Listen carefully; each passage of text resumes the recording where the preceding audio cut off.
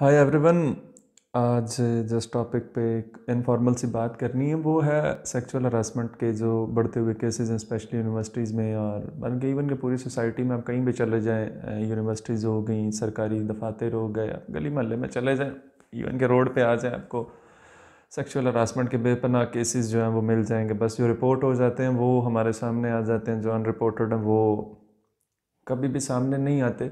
अभी रिसेंटली पेशावर की एक यूनिवर्सिटी में जो है, बच्चियाँ, उन्होंने एक वॉक का एहतजाजन ने एक वॉक की इस हरासमेंट के ख़िलाफ़, अपने प्रोफेसर्स के और जो उनकी इंतज़ामिया थी, जो मेल एडमिनिस्ट्रेशन जो है, उनके ख़िलाफ़ और उनके वाक़ और उनके रवैयों के वजह से उन्होंने प्रोटेस्ट किया, इससे पहले एक यूनिवर्सिटी ऑफ़ बलूचिस्तान का जो है स्कैंडल निकला था और मतलब स्कूलों में कॉलेजेस में यूनिवर्सिटीज़ में, मदारस तक में भी जो है वो ऐसे केसेस जो है वो निकलते रहते हैं। न बच्चे महफूज हैं, न बच्चियाँ महफूज हैं। लेकिन इस वीडियो का टॉपिक जो है वो ख़वातीन ही हैं और उन्हें जिस तरीके से सेक्चुअली हरासा किया जाता है मैं अक्सर सोचता हूँ कि यार ऐसा क्यों होता होगा?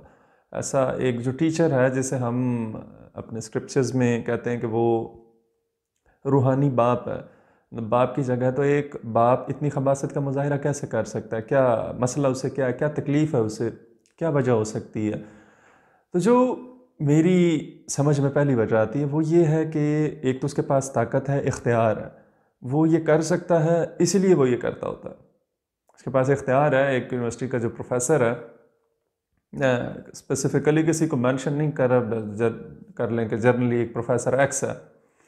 या दफ्तर में बैठा हुआ कोई क्लर्क है, कोई लेक्चरर है, कोई भी ऐसा फ़र्ज़ जिसके पास थोड़ा बहुत ही सही इख्तियार है। तो उसके पास इख्तियार है, अब जो प्रोफेसर है वो आपको मार्क्स वगैरह जो है वो आपके डिडक्ट कर सकता है, आपको फेल तक कर सकता है। वैसे भी यूनिवर्सिटी के जो प्रोफेसर हैं, इनके पास तो ड्रेकोनियन किस्म की पावर्स होती हैं।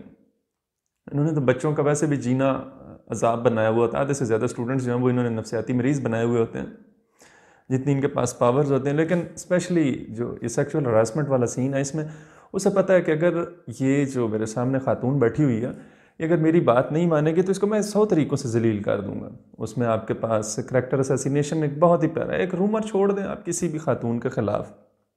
यूनिवर्सिटी में कहीं भी आप एक सिर्फ़ एक रूमर छोड़ दें, उस लड़की की जो है ना वो ज़िंदगी अजाब हो जाएगी। और रूमर से ले के आगे जो आप कर सकते हैं, उसका करियर तक जो है वो कोई भी प्रोफेसर तबाह कर सकता है, कोई लेक्चरर कर सकता है। करेक्टर असैसिनेशन होगी और ये सारा सीन जो है इसको लेके वो कुछ भी कर सकता है। तो उससे बचने के लिए अगली भी मजबूर होती है, हो जाती है। मेजॉरिटी केसेस में ऐसा ही होता। है तो ये जो ताकत है, उसे पता है वो ये कर सकता है, इसलिए वो करता है और उसे कौन से किसी ने पूछ लेना।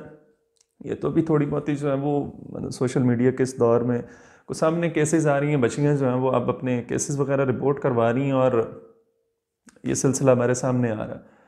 तो पहला तो इसका यही है कि वो कर सकता है, उसके पास इख्तियार अगर वो नहीं मतलब अगर उसके हाथ को नहीं लगती तो वो उसको सौ तरीके से उसको रुइन कर सकता है। उसके बाद इसी तरह आपका जो क्लर्क हो गया या आपका जो, मैं क्लर्क के सिर्फ़ एक एग्जांपल दे रहा हूँ।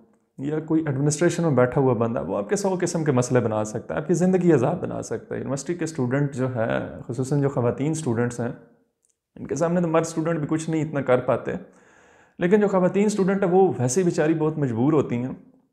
तो उनसे काम निकलवाना, उन्हें तंग करना, उन्हें हरासा करना, इन जैसों के लिए बहुत आसान होता है। वजह वही कर सकते हैं। ताकत है, इख्तियार है, अगर और ये इसका किसी भी तरीके से इस्तेमाल कर सकते हैं। यही हो सकता है ना, और तो मतलब मुश्किल है मतलब को डोमिनेंट वजह निकालना। फिर इसके बाद जो दूसरी रीज़न मेरे समझ में आती है, ये बहुत तलख रीज़न है। बहुत तलख रीज़न आप में से किसी को बहुत ज़्यादा चुपेगी और हो सकता है कोई नाच भी पड़े इस बात पे। वो ये है कि हम दूसरे की औरत की इज़्ज़त नहीं करते हैं। ये एक बड़ा ही प्लेन सच है। ये अगर हमें समझ में आ जाए तो ये बड़ी अच्छी बात है। ना भी समझ में आए तो कोई मसला नहीं है। आज नहीं तो कल ये समझ में आ ही जाएगा। हम दूसरे की औरत की इज़्ज़त नहीं करते। सिंपल है ना कि अगर हम कोई भी प्रोफेसर या लेक्चरर या क्लर्क जो वो एक बच्ची के साथ जो हरकत कर रहा है, कोई भी ऐसी हरकत जो कि सेक्सुअल हरासमेंट के उसमें आती है, क्या वो ये सोच सकता है कि वो अपनी बेटी के साथ करेगा? या चलें, वो नहीं करता, ये तो बहुत एक्सट्रीम बात होगी। क्या उसे ये बर्दाश्त होगा कि कोई भी दूसरा प्रोफेसर या कोई माशरे का दूसरा मर्द उसकी बच्ची के साथ भी वही करे जो वो कर रहा है, जिस किस्म की वो उल्टी सीधी डिमांड्स कर रहा है, इसी तरह की उसकी बेटी से अगर कोई डिमांड करे तो क्या वो बर्दाश्त कर लेगा? अब ये सवाल आप किसी से भी पूछेंगे ना तो वो आपकी गर्दम तारने पे आ जाएगा कि भाई, तेरी हिम्मत कैसे हुई? तू मेरी औरत के बारे में किस तरह बात कर सकता है? हमारे यहाँ ऐसा नहीं होता, हम ऐसे नहीं हैं। तो भाई, बात यही है कि हमने अपनी औरत जो है, उसको हमने महफूज रखना, दूसरे की औरत हमारे लिए गोश्त की एक दुकान है। ठीक है, उसको हम हम दें। जिस तरीके से हम उसका फ़ायदा उठा सकें उससे जितना उसको यूज़ कर सकते हैं, हम उसे उतना ही यूज़ करते हैं। और इसकी तो बड़ी सिंपल रीज़न है कि अगर हम दूसरे की औरत की इज़्ज़त करें तो हम ऐसा काम ही ना करें। मतलब it is as simple as that इससे ज़्यादा को बात बनती ही नहीं है। लेकिन नहीं, हम दूसरे की औरत की इज़्ज़त नहीं करते।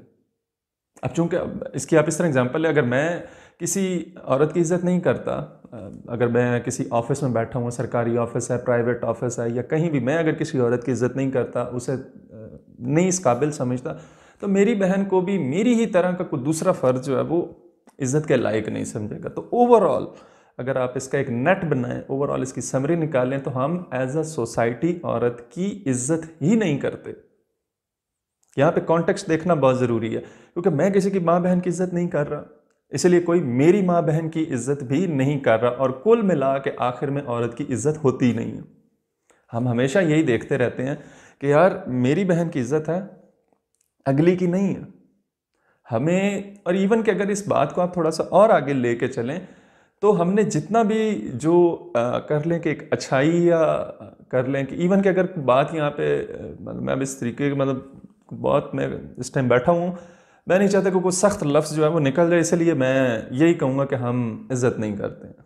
बिल्कुल भी इज़्ज़त नहीं करते हम जितना मर्ज़ी पढ़ लें, जितना मर्ज़ी सिखा लें, कोई हमारा कुछ नहीं बिगाड़ पाया, कुछ नहीं हमारा बिगाड़ पाया।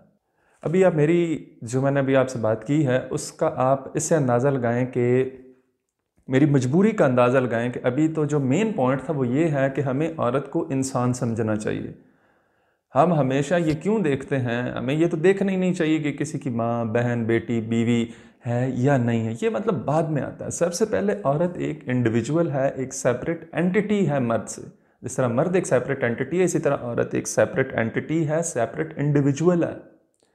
हमें उस इंडिविजुअल को मतलब एज अ इंडिविजुअल उसकी इज़्ज़त करनी चाहिए। लेकिन इस बात को समझाने के लिए, इसको समझने के लिए इस पूरे माशरे को मुझे लगता है अभी कई साल लगेंगे। हालाँकि मेरा पहला पॉइंट यही होना चाहिए था कि हमें औरत की एज अ इंडिविजुअल इज़्ज़त करनी चाहिए। लेकिन अभी इस बात को मैं साइड पर रख देता हूँ। तो मुझे यही कहना पड़ेगा कि भाई, जिस तरह आप अपनी माँ बहन की इज़्ज़त खुद करते हो ना, इसी तरह किसी दूसरे की माँ बहन बेटी की इसी तरह इज़्ज़त करना सीखें। बाकी है कि अल्लाह उन्हें भी हिदायत दे। और अल्लाह हम सबको भी हिदायत दे कि हम दूसरे की माँ बहन की इज़्ज़त करना सीख जाएँ। यही कहा जा सकता है, इससे ज़्यादा तो अब कुछ नहीं कहा जा सकता जी। बाकी देखते हैं, कब किसी को जो है वो अकल आती है, कब अल्लाह की ज़ात किसे हिदायत देती है, ये तो आने वाला वक्त ही बताएगा।